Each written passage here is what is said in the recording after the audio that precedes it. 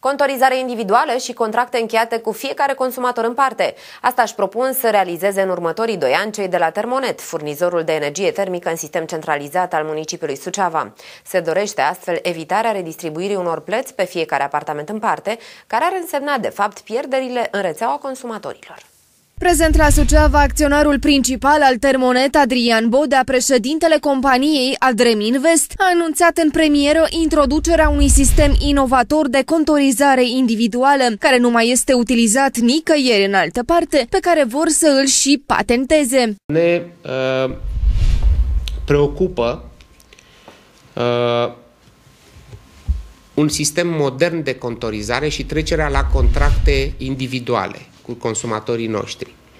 Uh, există un studiu de fezabilitate, există uh, calcule pe care le-am făcut, există soluții tehnice pe care le analizăm și sperăm ca în intervalul de uh, următorilor 2 ani să trecem la acest mod de contorizare individuală, adică fiecare apartament să plătească exclusiv energia pe care uh, o consumă și să nu mai fie o redistribuire, un calcul prin care să îi se atribuie fiecărui apartament o sumă rezultată dintr-un calcul care înțelegem că uneori nu este foarte uh, corect. Totodată el a menționat că se încearcă implementarea unei soluții care să necesite investiții minime din partea consumatorilor care nu vor mai avea nevoie de certificări ulterioare. Încercăm să găsim o soluție care să presupună investiții minime din partea uh, consumatorului, din partea clientului nostru.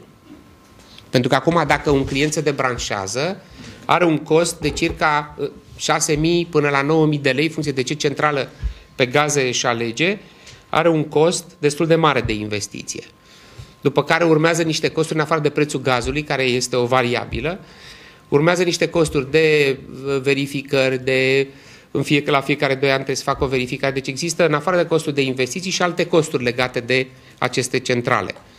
Noi ne propunem, pe de o parte, să micșorăm foarte mult investiția pe care ar face-o clientul nostru dacă trece la un sistem uh, bazat pe soluția noastră, iar pe de altă parte să nu aibă nevoie de certificări ulterioare. Deci a făcut o investiție odată, e contorizat individual, și nu va mai avea nevoie de niciun fel de certificări următoare și eliminăm pericolul pe care îl reprezintă o centrală cu gaze.